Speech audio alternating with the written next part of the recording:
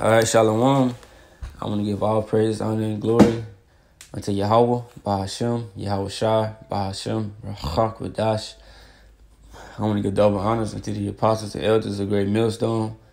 Peace and salutation to the Akim and to the elect that scattered across the four corners of the earth, pushing this truth and faith and sincerity.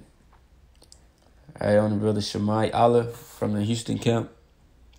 You know, and uh, yesterday, you know, long story short, this Christian or Catholic or whatever he is, basically he was he was, you know, at work trying to break down and say that the Heavenly Father and His Son, or God and Jesus, basically, are the same person.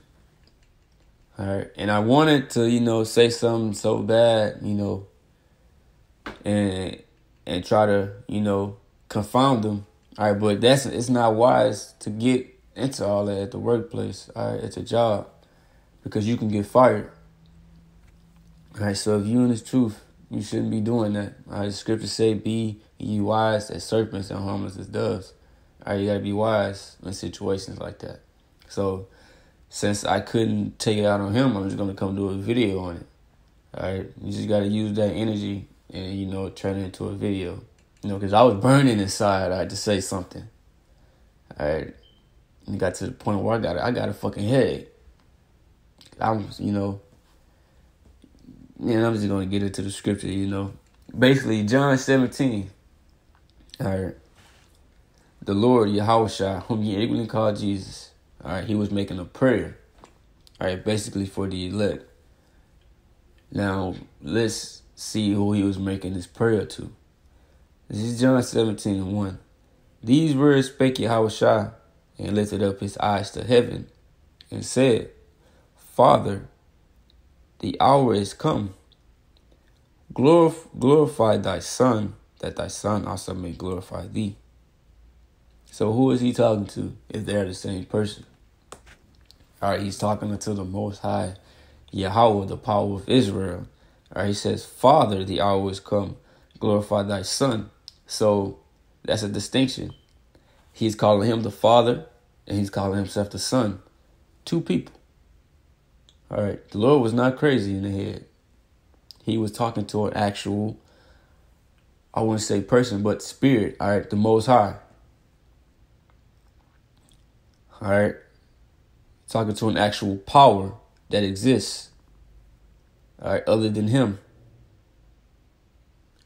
It says, verse 2 As thou hast given him power over all flesh, that he should give eternal life to as many as thou hast given him. So he was given power. Right, what, what other scripture says this? This is Matthew 28, verse 18. And Yahweh came and spake unto them, which them being the disciples, saying, All power is given unto me in heaven and in earth. So, who gave him this power in heaven and earth? If he was already the Father, if he was already God or the Most High, why did he have to be given this power? you know, and people not gonna these Christians they don't know or Catholics they don't they don't they don't know what the hell they're talking about, man. All right, because their doctrine don't even add up with the scriptures.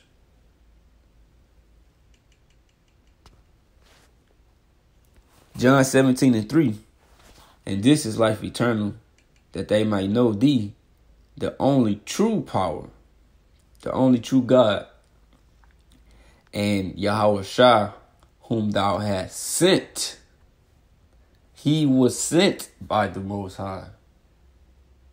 He's telling you in this scripture that he was sent. All right. By someone other than him. Bro, this is plain. Like, how could you even believe in that madness? Wow. This is Matthew 26 and 36. Then cometh Yahushua with them unto a place called Gethsemane, and said unto the disciples, Sit ye here while I go and pray yonder. And he took with him Peter and the two sons of Zebedee, and began to be sorrowful and very heavy. Then he said unto them, My soul is exceeding sorrowful, even unto death. Tarry ye here and watch with me. And he went a little further and fell on his face and prayed, saying, O my father, if it be possible, let this cup pass from me. Nevertheless, not as I will, but as thou will. So basically, Yahawashi, he knew what he was about to go through. He knew that he was going to be beaten, whipped, and crucified. You know, but he was praying to the Most High, the Father. The Son was making a prayer to the Father. All right. Basically, you know, he did he he didn't want to go through that. All right. And he was trying to get it to pass from him.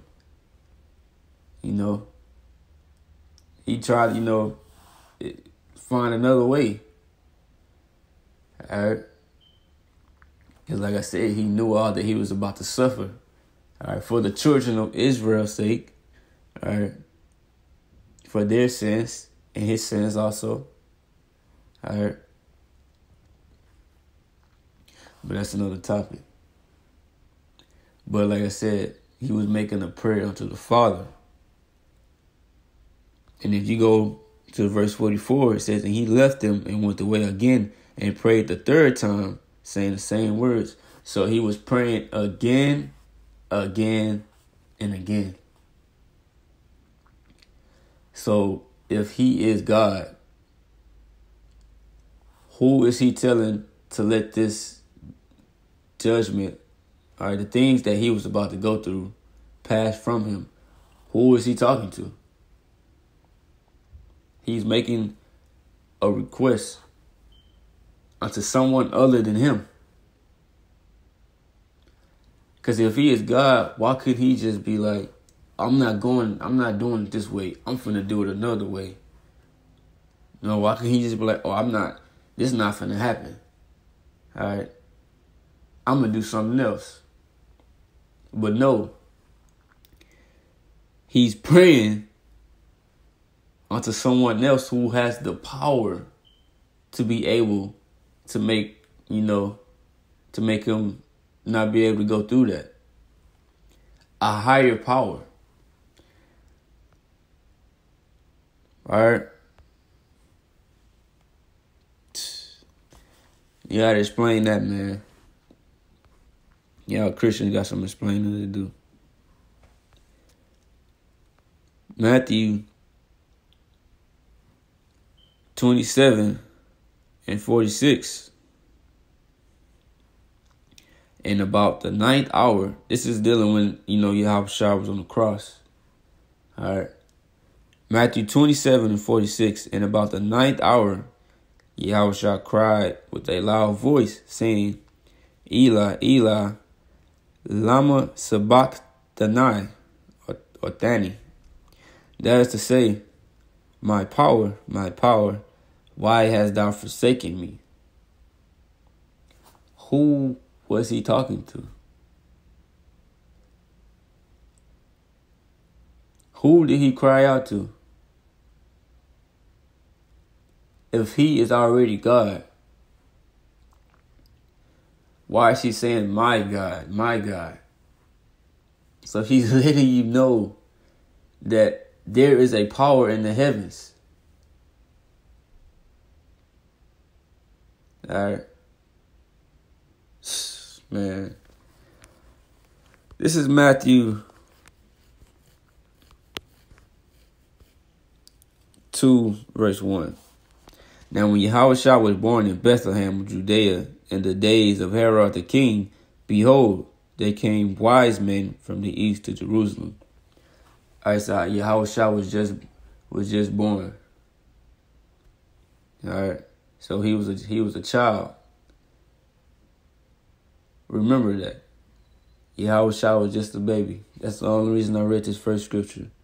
All right, but if you read this whole chapter, basically Herod, you know, he was trying to kill Yahushua. Alright. But Joseph found out about it. And let's see how Joseph found out. This is Matthew 2 and 12. Alright. It says, And being warned of the Most High in a dream that they should not return to Herod, they departed into their own country another way. Yeah, because Herod sent men to find the Lord, all right, to find the Messiah, all right, and they found him. But the Most High, the Most High warned them in a dream not to go back. Remember that. It says, And when they were departed, behold, the angel of the Lord appeared to Joseph in a dream, saying, Arise, and take the young child and his mother, and flee into Egypt, and be thou there until I bring thee word. For Herod will seek the young child to destroy him. When he arose, he took the young child and his mother by night and departed into Egypt. All right, so verse 12. All right, it says the Most High warned them in a dream. So if the Lord is God, all right, he was just born. He's a baby. His spirit is in the flesh. Who gave these men these dreams? Job 33 14. For the Most High speaketh once, yea, twice, yet man perceiveth it not. In a dream, in a vision of the night, when deep sleep falls upon men and slumberings upon the bed. Then he opened the ears of men and sealed their instruction, that he may withdraw man from his purpose and hide pride from man. So the Most High sends men our dreams, you know, and seal their instruction, basically saying this is what you're going to do the next day, this and that, you know. The Most High basically programs you on what you're going to do basically, the scriptures say everything obeys the Most High's will. All right, so the Most High controls everything. He sends the dreams. All right. The Most High gives the dreams. So in Matthew, the second chapter, Yahushua, all right, whom even call Jesus Christ, he was just a baby. He was just being born. So when it says the Most High, verse 12 in the Most High, it says, and being warned of the Most High in the dream, was that talking about him? Did he warn the man? Bro, y'all, you, you, you gotta explain that. All right? You gotta stop teaching those lies, man. And that shit getting old, bro. Alright, this is Acts 6 and 9. I was gonna bring out Acts 7, but I wanted to, you know, get Acts 6 first. Alright, because in Acts 7, Stephen basically he's breaking down the history or whatnot. Basically breaking down the history of Israel, you know, the great man of the Most High. All right. And I wanted to bring this out so you can know who he was talking to in that chapter. It's Acts 6 and, and um and 9. It says, Then there arose certain of the synagogue, which is called the synagogue of the Libertines and Cyrenians and Alexandrians and of them of Cilicia and of Asia disputing with Stephen and they were not able to resist the wisdom and the spirit by which he spake. Then they suborned men which said, We have heard him speak blasphemous words against Moses and against the Most High. And they stirred up the people and the elders and the scribes and came upon him and caught him and brought him to council. All right. So now, if you read Acts the seventh chapter, this whole chapter, now you know who's he talking to. All right, now I can make the point. This is Acts 7 and 54. When they heard these things, they were cut to the heart and they gnashed on them with their teeth. All right, because Stephen was getting on them. All right, as he broke down the history, all right, they were cut to the heart because they knew that they was wrong in the inside. All right, and they didn't like that, bro. You know, you know, so after a little while, all right, later on down in the scriptures, they stoned Stephen for that.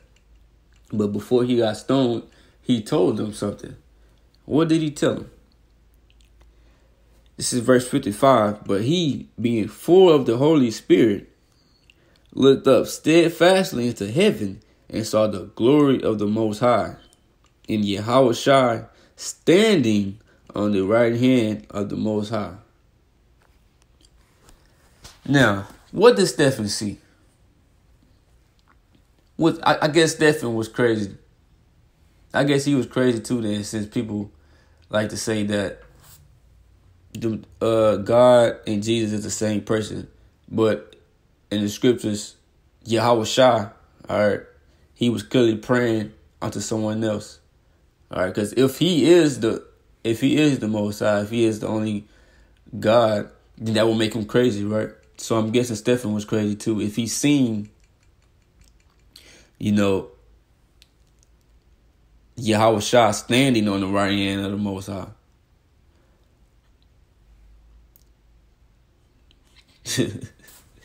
Man, you people got some explaining to do. All right, which we already know the truth. All right, through our apostles and elders of the great millstone, through the Spirit of Yahweh Bashim Yahawashi. All right, we just were set up to you know to expose these lies of these other doctrines. All right, so moral of the story is Yahawashi, all right, and the Father, Yahweh, are two separate powers, two separate entities. All right, and with that, I'm gonna say Shalom.